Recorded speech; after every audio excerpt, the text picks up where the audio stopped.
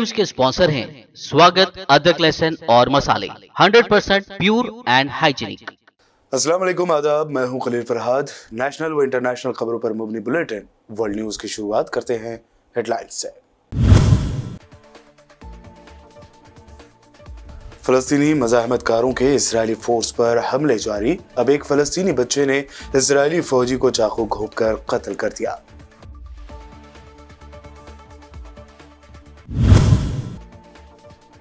तुर्की में जलजले के बाद तबाही के मनाजिर, हलाकतों की तादाद चौंतीस हज़ार हो गई।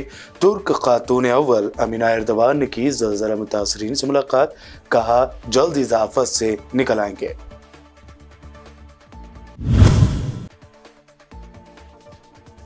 तुर्की में आए जलजले के बाद इमदादी कामों में शिद्दत। हैरत अंगेज तौर पर एक सौ बयासी घंटों में एक तेरह साल लड़के और एक लड़की को मलबे से ज़िंदा बाहर निकाला गया।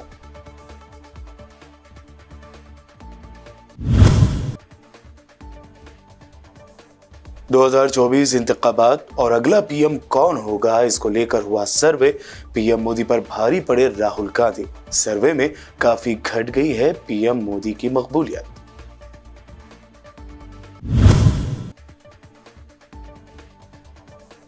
अमित शाह का दावा 2024 में एक तरफा जीत हासिल करेगी बीजेपी। अडानी मामले पर कहा, हुकूमत के पास छुपाने के लिए कुछ नहीं।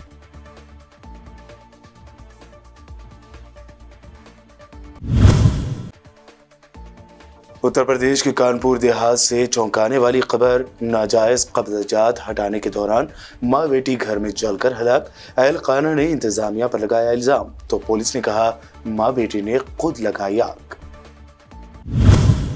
ये हेडलाइंस बढ़ते हैं खबरों की तफसील की जानब। यरूशलेम के शहर और शफात पनाह गजीन कैंप की चौकी पर चाकू के दो हमले किए गए, दो बच्चों की तरफ़ से किए गए इन हमलों के नतीजे में एक इसराइली फौजी हलाक और एक यहूदी आबादकार जख्मी हो गया।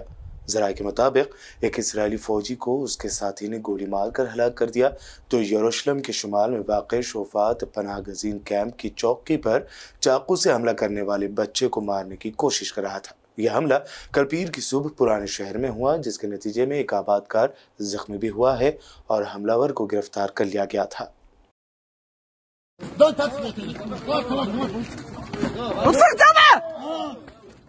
Hey! Leave him! I want an ambulance. I don't know.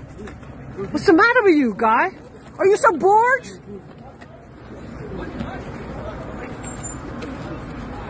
उधर अकवा मुतहदा ने आलमी बरदरी पर ज़ोर दिया है कि वो इसराइल की जानब से फ़लस्तियों की रिहाइश गाहों के दानिस्ता इनहदाम में ड्रामा इजाफे को रोकने के लिए इकदाम करें।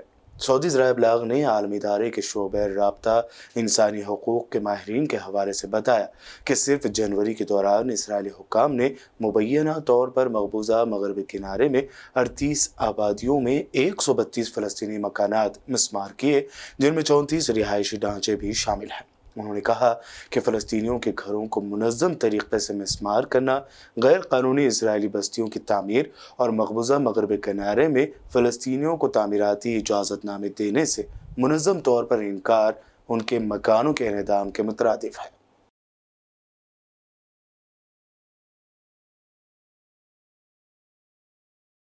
साउथ ईस्ट तुर्किया के देही इलाकों में जलजले ने बड़ी पैमाने पर तबाही मचाई है।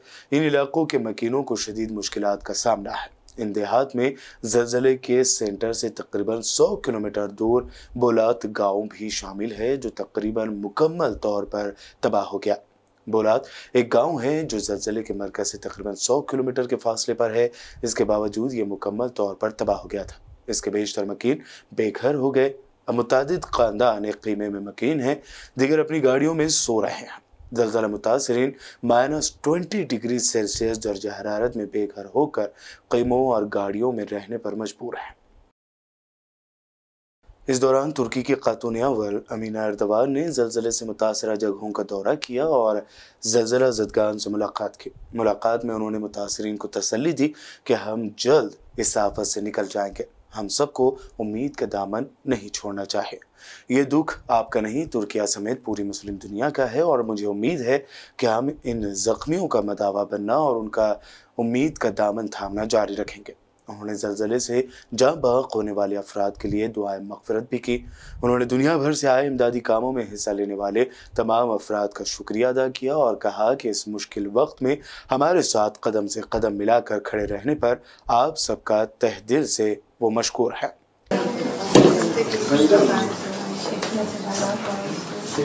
Maşallah. Güzel erkek. Kız. Kız. Nasıl yapıyorsun? Dilerseniz siz koyun. Kulağına okuyun siz. Daha koymadın mı? Yok hocam.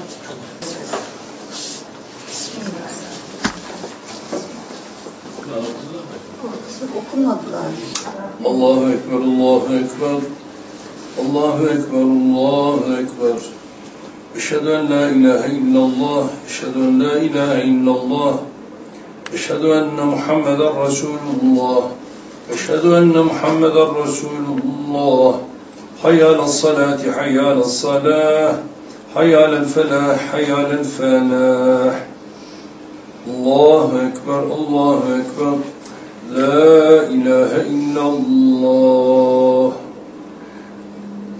Ayşe Betül.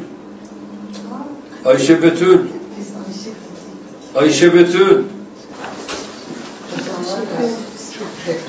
Türkiye और शाम में आने वाले तबाहकुन जलजले से बच जाने वालों की उम्मीद खत्म होते ही इमदादी कारकुनों ने मलबे तले एक सौ बयासी घंटे गुजारने वाली एक छः साल लड़की और एक तेरह साल लड़के को बाहर निकाला है जलजले के एक हफ़्ते से ज़्यादा अरसे के बाद कल पीर के रोज जुनूबी तुर्किया के सूबे हाथे में एक मुनहदम इमारत के मलबे के नीचे से बचाए जाने वाले मासूम लड़की और लड़के को रेस्क्यू कारकुनों की तरफ़ से बचाने की कोशिश करते देखा जा सकता है। इस वाक़े के वीडियोस सोशल मीडिया पर वायरल हो रहे हैं।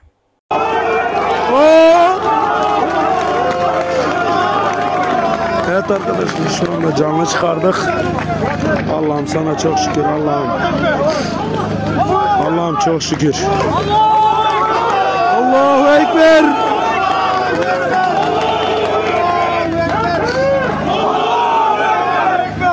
Allah'ım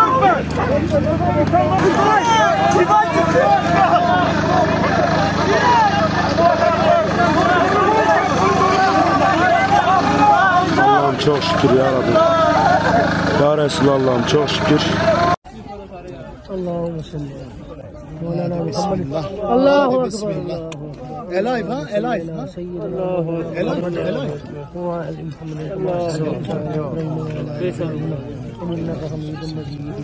Allahu Akbar. Maşallah, maşallah.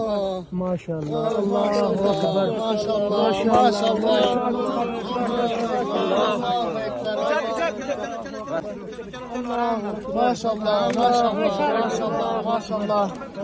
Ukraine पर रूस ने फिर एक मरतबा, अपनी कार्रवाइयों में शिद्दत ला ली है। रूसी उमूर दिफा ने यूक्रेनी इलाके डोनेस्क में वाक़ क्रिस्निया गुरा नामी रिहायशी आबादी पर कंट्रोल हासिल कर लिया। रूसी वजारत के तर्जुमान एगोर कोराशिनकोफ ने इस हवाले से तफसीत देते हुए कहा कि रूसी फौज ने यूक्रेन में पेशकदमी जारी रखी हुई है और अब तक मुख्तलिफ़ इलाकों में तीन सौ से जायद यूक्रेनी फौजी मारे गए हैं। कोनाशिंकोफ ने दावा किया कि यूक्रेनी फौज के एक असलह के गोदाम और कारखाने को तबाह कर दिया गया, जबकि हमारी फौज ने डोनेस्क में वाक़ क्रासनिया गोरा नामी आबादी पर कंट्रोल हासिल किया है।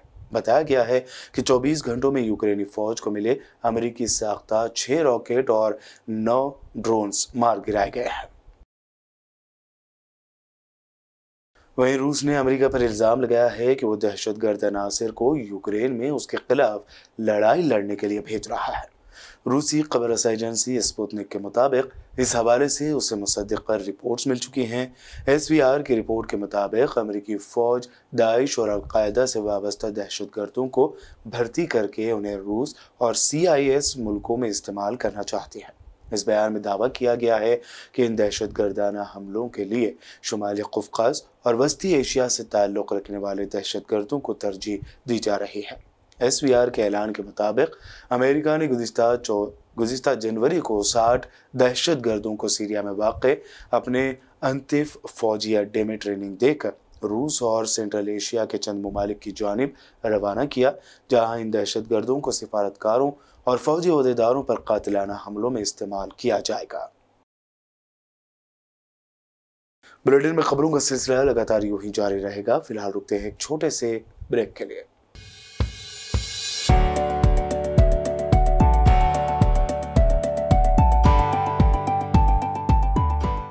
वर्ल्ड न्यूज़ के स्पॉन्सर हैं स्वागत, अदरक लहसन और मसाले। 100% pure and hygienic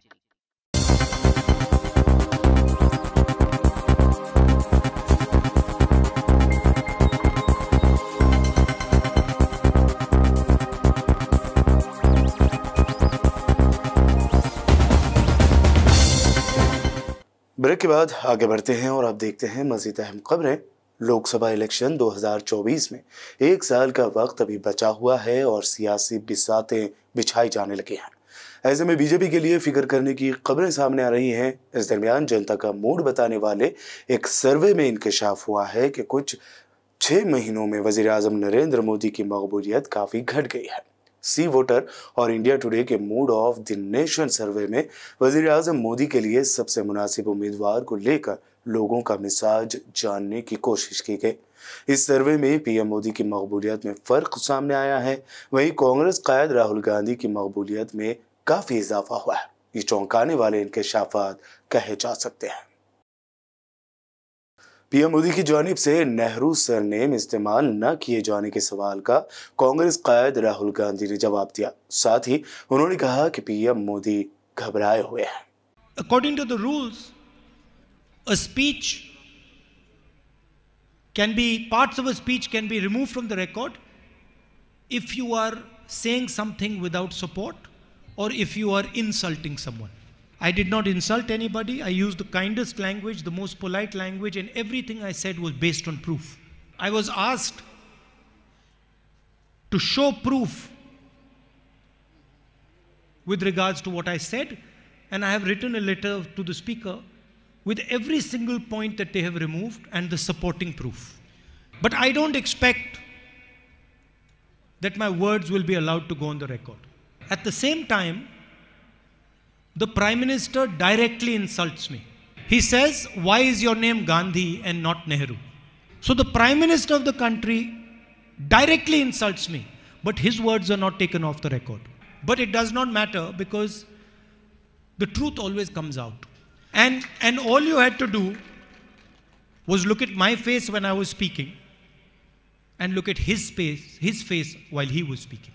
Look, look at how many times he drank water, how his hand was shaking when he was drinking water, and you'll understand everything. He doesn't realize the absolute last thing I'm scared of is Narendra Modi. Adani मामले पर मोदी हुकूमत को लगातार घेर रहे आम आदमी party के एमपी संजय सिंह ने फिर एक मरतबा प्रेस कॉन्फ्रेंस करते हुए कहा कि अगर मोदी हुकूमत ने कोई गलती नहीं की है तो वो जेपीसी से क्यों डरते हैं हमारी जेपीसी की मांग अभी भी बरकरार है सरकार जाग जाए जेपीसी बनाए जाँच कराए और अडानी के खिलाफ कार्रवाई करे, उनकी कंपनियों के खिलाफ कार्रवाई करे, वरना ये मुद्दा और बड़ा बनेगा और व्यापक रूप लेगा, क्योंकि ये देश के करोड़ों लोगों से जुड़ा हुआ मुद्दा है। रजनी पाटिल जी को सस्पेंड करना घोर असंवैधानिक है। जब पार्लियामेंट की प्रोसीडिंग्स का टेलीकास्ट हो सकता है तो आप मुझे बताइए कि क्यों वीडियो नहीं बनाया जा सकता? वीडियो बनाना कौन सा ऐसा बड़ा अपराध हो गया? इसके कारण से आपने एक मेंबर को सस्पेंड कर दिया। ये पूरा देश देख रहा है क्या पूरी की पूरी भारतीय जनता पार्टी और आदरणीय नरेंद्र मोदी जी दुनिया की सबसे बड़ी पार्टी के दुनिया के सबसे बड़े नेता के राज में दुनिया का सबसे बड़ा घोटाला हुआ और दुनिया की सबसे बड़ी पार्टी और उसके नेता खामोश हैं, अडानी के पीछे छिपे हुए हैं। कह रहे, भारतीयता पे हमला हो गया। ये क्या मज़ाक है? अडानी पे हमला, भारतीयता पे हमला है? क्या अडानी इंडिया है? क्या इंडिया अडानी है? नहीं। खुद उनके मुख्यमंत्री योगी आदित्यनाथ ने पाँच हज़ार चार सौ करोड़ रुपए का ठेका उत्तर प्रदेश में रद्द किया है अडानी का। तो क्या योगी आदित्यनाथ ने भारत के खिलाफ साजिश की? क्या योगी आदित्यनाथ अमेरिका की कंपनी है या वहाँ के निवासी है? क्या योगी आदित्यनाथ भारत के ऊपर हमला कर रहे हैं? अरे छह हज़ार का बिजली का मीटर अगर दस हज़ार रुपए में अडानी देगा तो उस ठेके को सभी पार्टियों के दबाव में उत्तर प्रदेश में कैंसिल किया गया। आज मुद्दा अडानी के भ्रष्टाचार का है, भारतीयता का सवाल नहीं है। भारतीयता के नाम पर भ्रष्टाचार को छुपाने की कोशिश मत कीजिए मोदी जी, और हमारी ये मांग आगे भी जारी रहेगी मरकजी वज़ीर दाखिला अमित शाह ने साल 2023 में रियासत के इलेक्शन पीएफआई पर पाबंदी अडानी इशू दाखिल सलामती 2024 आम इंतबात और दीगर मुद्दों पर बात की। एक इंटरव्यू के दौरान उन्होंने कहा कि त्रिपुरा असेंबली इलेक्शन में हम नया रिकॉर्ड बनाएँगे। 2024 का इलेक्शन बीजेपी एक, तर, एक तरफा तौर पर जीतेगी। साथ ही अमित शाह ने अडानी मामले पर कहा कि हमारे पास छुपाने के लिए कुछ भी नहीं है। अमित शाह की जानिब से अडानी मामले पर छुपाने के लिए कुछ नहीं है वाले बयान पर। सीनियर कांग्रेस कायद जयराम रमेश ने कहा कि अगर छुपाने के लिए कुछ नहीं है तो ज्वाइंट पार्लिमानी कमेटी इस मामले पर बिठाई जाए।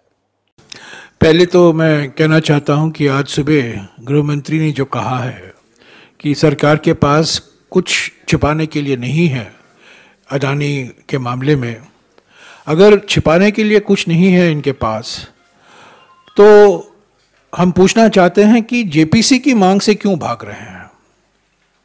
जेपीसी की मांग से न केवल भाग रहे हैं, पर उसका ज़िक्र भी करना नहीं देते हैं हमें संसद में, लोकसभा में और राज्यसभा में। और जो कोई, जब कोई राहुल जी ने लोकसभा में खरगे जी ने राज्यसभा में और कई हमारे वक्ता दोनों सदनों में जब ये मामला उठाया, जेपीसी का मामला उनको एक्सपंज किया गया। तो अगर छुपाने के लिए कुछ नहीं है तो जेपीसी की मांग आप स्वीकारिए। जेपीसी में तो बहुमत सत्ता पार्टी की ही होगी बीजेपी की ही होगी। जेपीसी को एक समय सीमा दीजिए और जेपीसी को कहिए कि जाँच कराएँ। और जाँच अडानी की होनी चाहिए। ये जो समिति की चल, बात चल रही है, ये किस आधार पर ये समिति बनाई जाएगी? याचिका क्यों डाली गई थी सुप्रीम कोर्ट में? ताकि हिंडनबर्ग के खिलाफ जाँच किया जाए। उन्नीस सौ उनहत्तर में एक हिट गाना हुआ करता था हिंदी फ़िल्मों में, बदन पे सितारे लपेटे हुए। आज तो बदन पर सिर्फ़ तिरंगा लपेटे हुए। ये लोग कह रहे हैं कि हम हिंडनबर्ग की जाँच कराएँगे। जाँच तो अडानी की होनी चाहिए। और सरकार और अडानी के बीच में क्या रिश्ता है?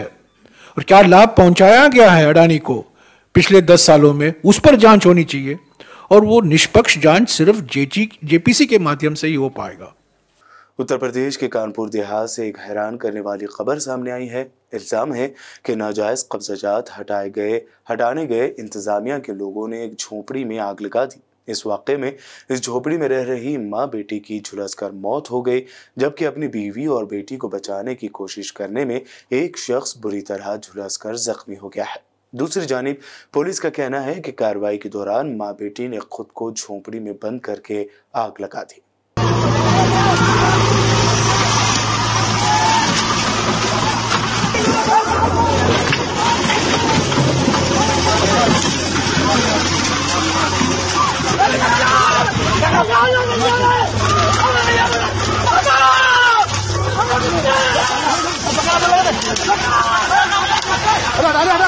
हमारी ताना अरोरा गाँव मडोली में एक अतिक्रमण हटाने हेतु डीएम मेहता और कुछ उसके साथ यहाँ पे पहुँचे। थे और जब वो पहुँचे, हटा रहे थे तो जो प्रथम दृष्टि हमें जो पता चल रहा है कि एक महिला और उनकी बेटी अंदर आए थे झोपड़ी में और अंदर से बंद करके अपने आप को मतलब जला लिया है। उसमें उन दोनों की मृत्यु हुई है और बाकी हम मौके पर पहुँच गए हैं। सारे सक्षम अधिकारी भी मौके पर है। फ़िलहाल अभी पूछताछ चल रही है और बातचीत भी चल रहा है। इसमें जिनका भी आ, आ, गलत रवैया हो और कुछ भी गलती हो उनको हम अपेक्षेंगे नहीं और उसमें तुरंत कार्रवाई करेंगे। समाजवादी पार्टी यानी एसपी के जनरल सेक्रेटरी आज़म खान की मुश्किलें कम होने का नाम नहीं ले रही है। मुरादाबाद की एक स्पेशल कोर्ट ने 15 साल पुराने मामले में आज़म खान और उनके एमएलए बेटे अब्दुल्ला आज़म को दो साल की सजा सुनाई है, जबकि इस मामले में सात लोगों को इल्ज़ाम से बरी कर दिया गया है। ज़िले हुकूमत के वकील नितिन गुप्ता ने कहा कि तफ्तीश के दौरान पुलिस के साथ झगड़े में आज़म खान समेत नौ लोगों के खिलाफ दर्ज एक केस में यहाँ की एमपी, एमएलए अदालत की जज सुमिता गोस्वामी ने पीर को आज़म खान और उनके बेटे अब्दुल्ला आज़म को दो दो साल कैद और तीन तीन हज़ार रुपए जुर्माने की सजा सुनाई है। जन अधिकार पार्टी के सरबराह पप्पू यादव का काफिला भयानक हादसे का शिकार हो गया है। हादसा इतना ज़बरदस्त था कि गाड़ी के पर कच्चे उड़ गए। दरअसल, सारण के मुबारकपुर से वापसी के दौरान नारा के बक्सर के दरमियान यह हादसा हुआ। हादसे में पप्पू यादव बाल बाल बच गए। वहीं उनके काफिले के कई लीडर और कारकुन जख्मी हुए हैं, जिनको अस्पताल में भर्ती कराया गया। वहीं पप्पू यादव ने हादसे को लेकर कहा कि ओवरटेक कर रहे एक ट्रक की वजह से गाड़ियाँ आपस में टकरा गईं, जिसमें बीएमपी के दो गार्ड्स, स्कॉट ड्राइवर समेत 11 लोग जख्मी हो गए हैं। उसको उसको उसको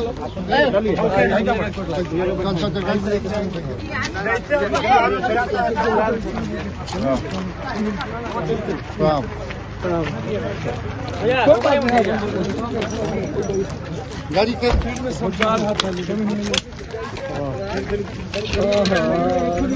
में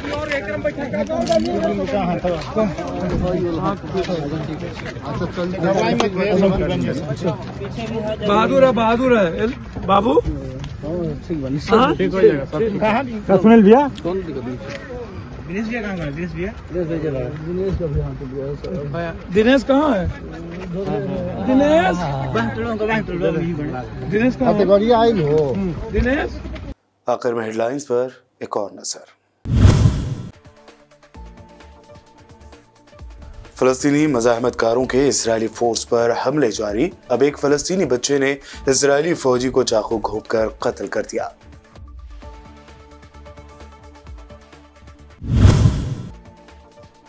तुर्की में जलजले के बाद तबाही के मनाजिर, हलाकतों की तादाद चौंतीस हज़ार हो गई। तुर्क खातून अव्वल, अमीना एरदवान ने की जलजला मुतासरीन से मुलाकात, कहा जल्द इजाफत से निकल आएँगे।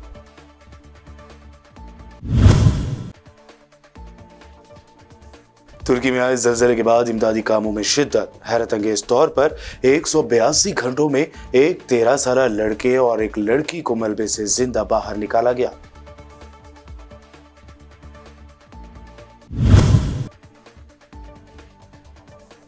दो हज़ार चौबीस इंतबात और अगला पीएम कौन होगा? इसको लेकर हुआ सर्वे।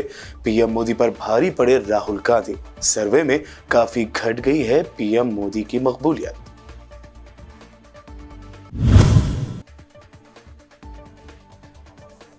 अमित शाह का दावा 2024 में एक तरफा जीत हासिल करेगी बीजेपी। अडानी मामले पर कहा, हुकूमत के पास छुपाने के लिए कुछ नहीं।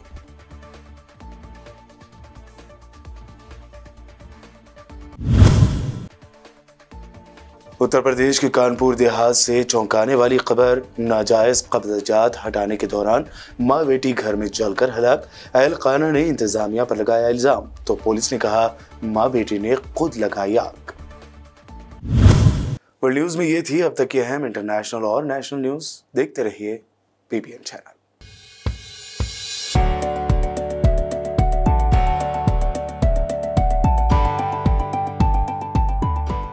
बीबीएन चैनल के व्यूअर्स के लिए एक अहम इत्तला। अब बीबीएन चैनल का टेलीकास्ट भारत भर में हो रहा है। हमारे व्यूअर्स भारत में कहीं भी टीवी पर अब बीबीएन चैनल देख सकते हैं। स्क्रीन पर बीबीएन चैनल की टेलीकास्ट डिटेल्स दस्तियाब हैं। इसके अलावा भारत भर में किसी भी एरिया में अगर आप बीबीएन चैनल देखना चाहते हैं तो आप अपने केबल ऑपरेटर को इसके लिए कह सकते हैं। आपकी डिमांड पर वो ज़रूर बीबीएन चैनल टेलीकास्ट करेंगे, क्योंकि बीबीएन एक फ्री टू एयर चैनल है। इसके लिए आपको सिर्फ़ हमारे दिए गए नंबर पर केबल ऑपरेटर से कॉल या व्हाट्सएप पर मैसेज करवाना है। हम आपके केबल ऑपरेटर तक बीबीएन चैनल पहुँचा देंगे, जिससे वो आपके एरिया में टेलीकास्ट कर सकते हैं। इसके लिए चैनल की हमारी पूरी टीम लगातार काम कर रही है, ताकि आप तक बीबीएन चैनल को पहुँचाया जाए। इसके अलावा बीबीएन चैनल को भारत भर में रिपोर्टर्स की ज़रूरत है। अगर आप सहाफ़ी हैं और बीबीएन चैनल से जुड़ना चाहते हैं तो आप भी दिए गए नंबर पर रब्त कर सकते हैं।